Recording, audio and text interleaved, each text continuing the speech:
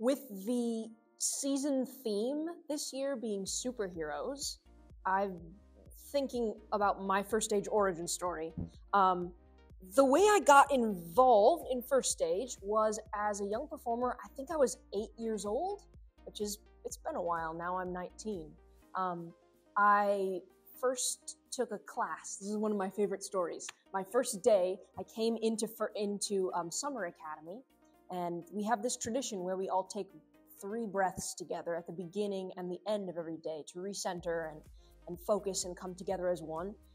For me, that last breath, I found my community.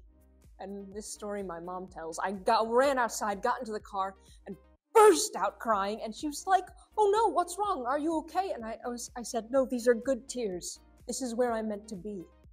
That's how I got into first stage. It's actually quite incredible.